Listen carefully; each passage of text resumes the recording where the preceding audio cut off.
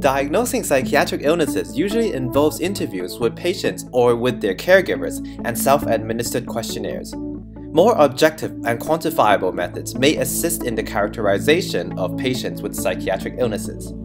One of the core research focuses at the Vision and Eye Movements Laboratory at the University of Toronto, led by Professor Eizenman, is to study information embedded in the visual scanning behavior for diagnosing and monitoring of neuropsychiatric disorders. That is, patients with neuropsychiatric disorders tend to selectively attend disorder-pertinent visual stimuli, and attentional biases to the visual stimuli can be monitored using eye tracking technology. For example, when presenting images of social interactions and dysphoric images to patients with depression, they tend to focus on dysphoric images more than controls, this nonverbal objective measure to determine attentional biases can provide measures of an individual's cognitive and neuropsychiatric function. In this work, we studied visual scanning behaviors in apathetic patients with Alzheimer's disease. In 2018, there are more than 5 million Americans living with Alzheimer's disease, and in 2050, there is an estimated 16 million with Alzheimer's disease. Symptoms of Alzheimer's disease include memory impairment, difficulty socializing, and apathy. Apathy is the most common neuropsychiatric symptom in Alzheimer's disease and is characterized by reduced motivation, social disinterest, and emotional blunting. Diagnosis of apathy in Alzheimer's disease heavily relies on clinicians' interviews with patients and caregivers, which can be ambiguous and time-consuming.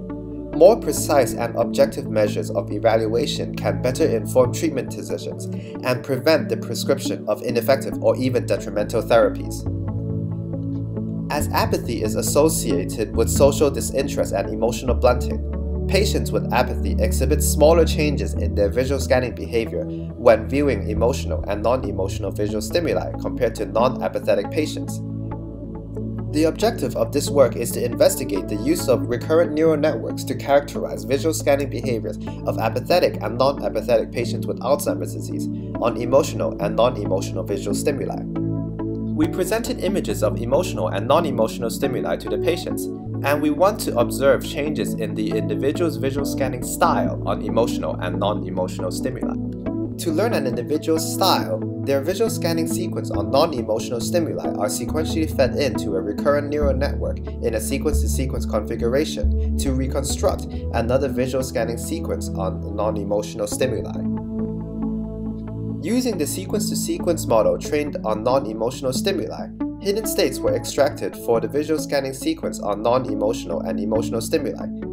We called these vectors u and v respectively, and the Euclidean distance between the vectors were taken as an indication of emotional blunting.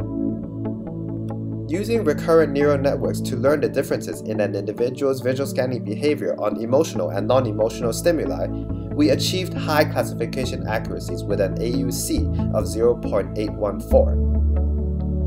Learning the individual differences improved the classification accuracies compared to using recurrent neural networks to learn group differences and using handcrafted features.